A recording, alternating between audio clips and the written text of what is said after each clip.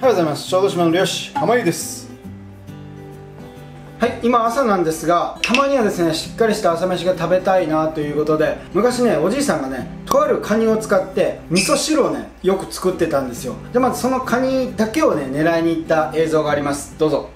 はいおはようございます、えー、解説はですねバッチリ寝起き二日酔いの浜湯でございます、えー、それじゃあいつものように穴子かご漁にやっていきます。でここはですねあの工場がまあ、近くてあんまりね綺麗な海とは言い難いです。水も非常に濁ってます。まあ雨の影響もあるかもしれません。それでは1個目が上がってきました、えー、いつもここにもねアナゴがいるんですね。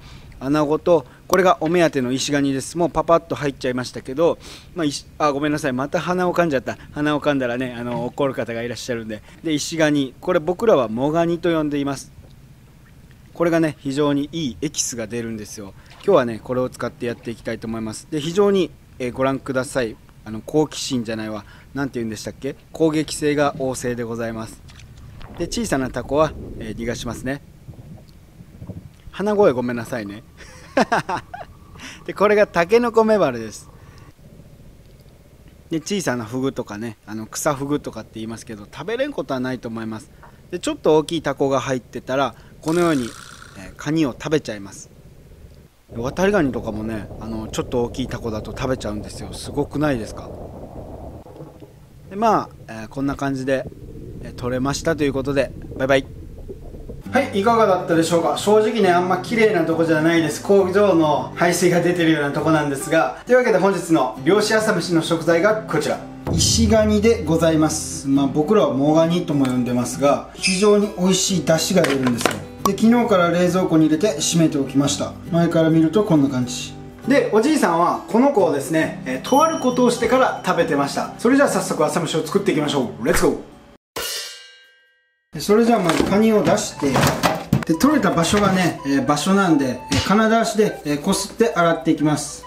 まあ一応あの綺麗なとこで23日生かしておいたんで大丈夫だとは思うんですけど表面に付着して汚れを一応落としとかんとなあかんかなっていう感じです。でこういう、えー、出てしまった卵はねもう取っておきましょう。じゃこじゃこするんですよ好きな人もいるんですけどねこれなんだろう？出てしまった黒豆みたいな。これも抜けときます。はいじゃあこれで、えー、一度洗うことができました。じゃあ次、え、すり鉢用意してでカニを入れていきます。じゃあ次にこうやって潰していきます。とあんま入れすぎると飛び散るから出しますね。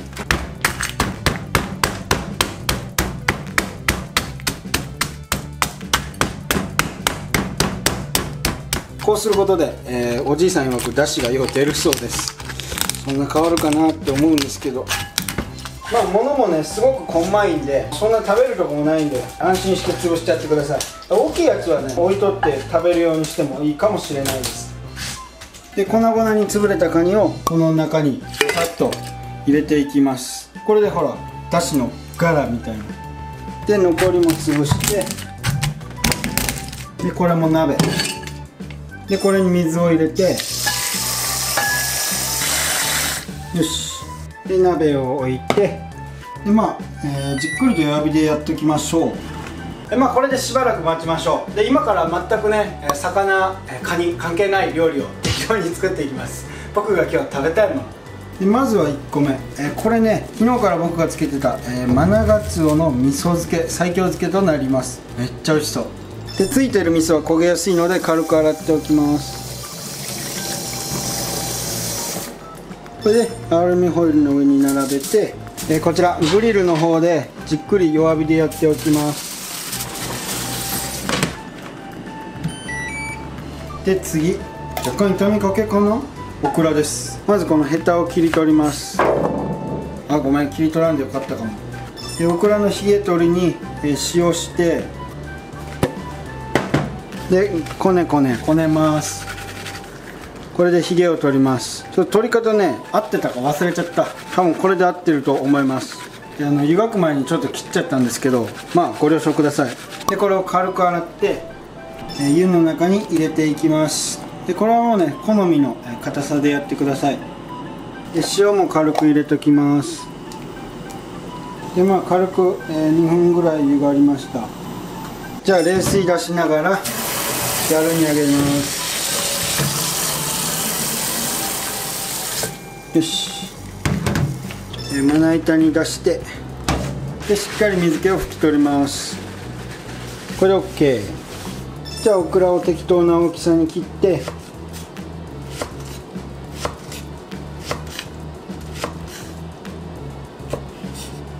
でこれをお椀に入れて。でいりごま。で鰹節。で僕の大好きな追いがつおつゆを入れて。はい完成。オクラ鰹節。で次はフライパンにね思い出残るこの油を入れます。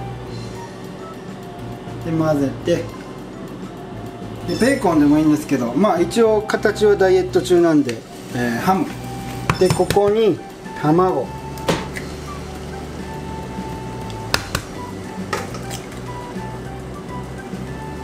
で周りに水を入れてで蒸し焼きにしておきます。よいしょ。魚の様子はうん。結構いい感じですね。もうちょいやっておきましょう。いやそしたら次は立派なナスをご用意して。でナスはここじゃなくてここを切る。こうすることで取れる。誰でも知ってる。で半分に切って。でまあ適当に切れ込みを入れておきましょう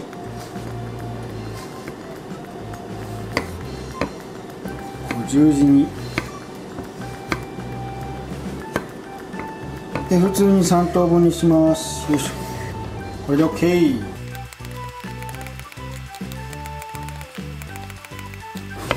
よし。はい。なすびが切れました。あたおた。でそうこうしてる間に魚も焼けたんで揚げていきます。はい。マナガツオの西京漬け完成。でそうこうしてる間に卵もいい感じですね。ちょっと水気を飛ばします。あそうだ。塩コショウします僕は昔からね塩コショウとね、えー、醤油です。異論は認めません。水気が飛んだら揚げていきます。はい。目玉焼き。次油をご用意。で油が温まったらなすびをね素揚げしていきます。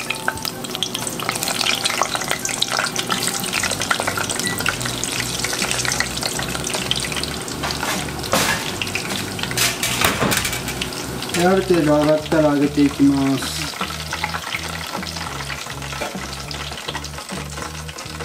でこれでもう、えー、余分な油とかはね落としておきましょう。で次ようやく味噌汁に戻ってきて出た余分なアクを取り除きます。もう悪は悪だなんて言わないよ絶対。ちょっと下手やなもう悪は悪なんて言わないよ絶対。で悪が取れました。でも十分に出汁が出たなと思ったら火を止めてでもう十分味噌汁みたいな色になってるんですけど味噌を入れていきます。多分ねあのちょっとね塩噛んでるからそこまで入れなくてもいいと思います。だからねちょっと少なめから様子見てで味噌溶いてでちょっと味見してみましょう。でもうちょっとだけ味噌足します。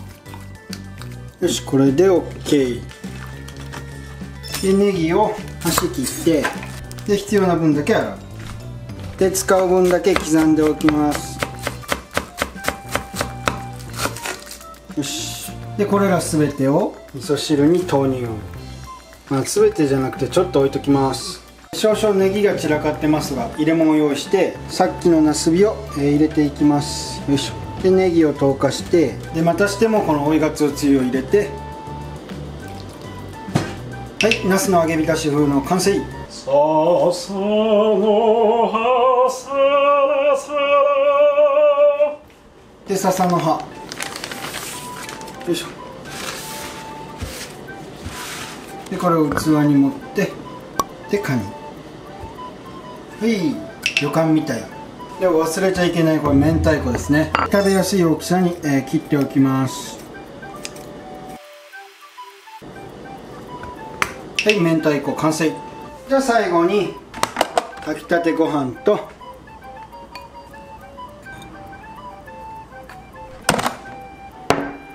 カニエキスたっぷりの、えー、味噌汁をついでで海苔も追加。はいいつものことではないですが浜湯特製、えー、朝定食の完成です。それじゃあ竹雄始めようか。うん。おはよう。あおはよう。ご飯できてんの？本当？おおすんげえうまそうじゃん。まあ朝だからノンアルにしようかな。あこれこれ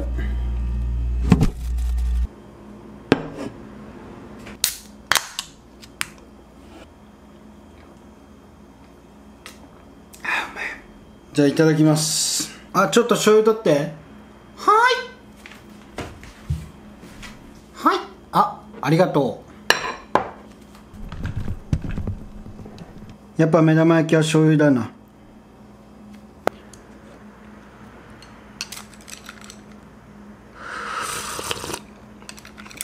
あいいカニの出汁が出て最高に美味しい